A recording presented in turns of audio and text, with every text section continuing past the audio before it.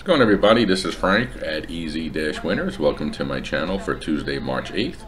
On this video, I'm releasing a free NBA pick between the Charlotte Hornets and the Brooklyn Nets. I'll have that for you in just one moment. If you do like the video, I would absolutely appreciate the thumbs up.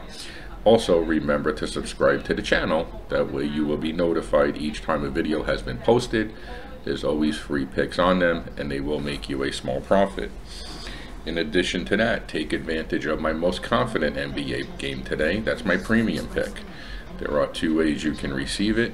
It has a value of $175.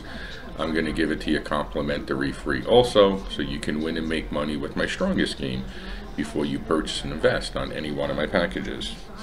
Right now, these teams are identical. They're both 32 and 33 on the season. Uh, they did meet only once this year. That was back in early in the year, back in October. Charlotte did beat the Nets 111-95.